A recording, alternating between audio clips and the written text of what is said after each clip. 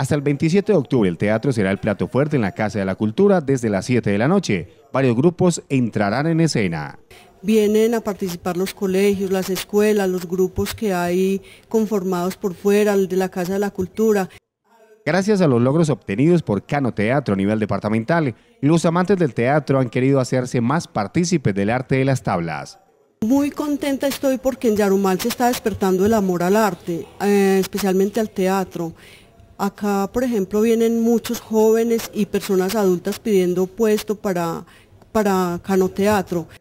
Este año el Festival de Teatro cuenta con una visita muy especial del Ministerio de Cultura, gracias a que fue elegido como uno de los tres municipios más organizados en el tema teatral en todo el departamento de Antioquia. De tres municipios especialmente que se escogieron en el departamento, que fueron Jericó, Río Negro y Yarumal.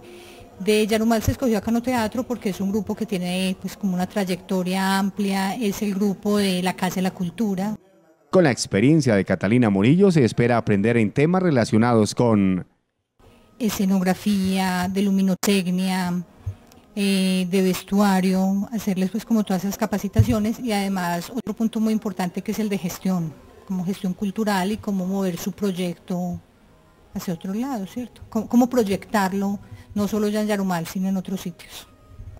Arbey de Jesús Elorza es uno de los integrantes de Cano Teatro, quien se siente orgulloso de su personaje en la obra Los Intereses Creados. Hago el personaje de El Capitán, el cual es la persona encargada de cuidar las espaldas de Crispín y Leandro.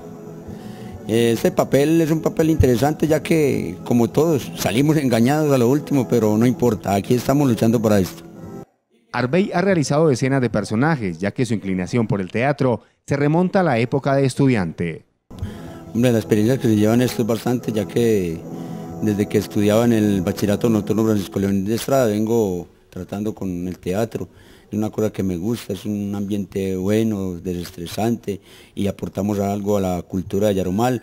Visitar el auditorio de la Casa de la Cultura en este festival de teatro es apoyar el mejor grupo teatral con que cuenta no solo Yarumal, sino el norte y Bajo Cauca, ya que esta subregión será representada por Cano Teatro en el próximo Festival Departamental de Teatro. Vamos los primeros días de noviembre a participar en la departamental con los intereses creados, que fue la obra con la que clasificamos el mejor grupo subregión norte, Bajo Cauca. Hasta el 26 de octubre estarán en escena las mejores obras teatrales hechas por artistas yarumaleños un espacio para compartir en familia. Estamos invitando a todo el municipio de Yarumal, los profesores, los colegios, estamos invitando a los padres de familia que vengan a ver trabajar su semillero. Cano Teatro no es solo un grupo de la Casa de la Cultura, apoyado por la administración municipal. Cano Teatro es el sentir de toda una comunidad que respira cultura, que respira teatro.